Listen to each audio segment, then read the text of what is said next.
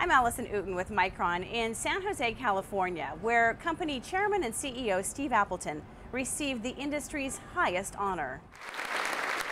Before hundreds of his peers and colleagues, Appleton accepted the 2011 Robert Noyce Award from the Semiconductor Industry Association. This prestigious recognition is given every year in the name of industry pioneer and Intel co-founder Robert Noyce. SIA President Brian Toohey says recipients represent the industry's finest.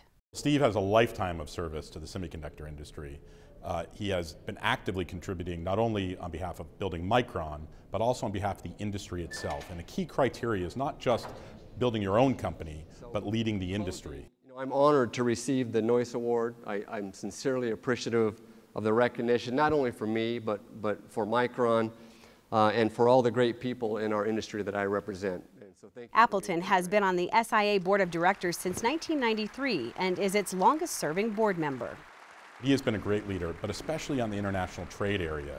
And in a lot of ways, he has been, and Micron has been at the tip of the spear for foreign competition. And, and Steve has single-handedly maintained leadership, especially in the memory sector here in the United States.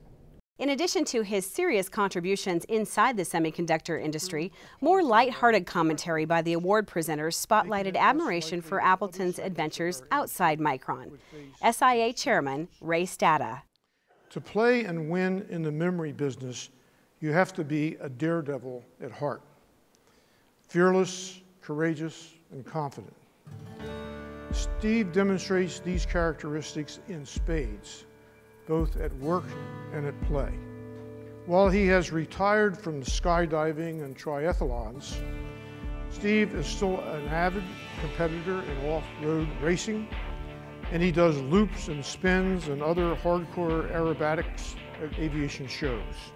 Comedian Samantha Bee very grateful and humbled that you have chosen to include me in your program, in which we celebrate the humble semiconductor and honor Steve Appleton, who rides to work every day on a rocket that he made out of the discarded parts of the jet-powered wakeboards that he also makes.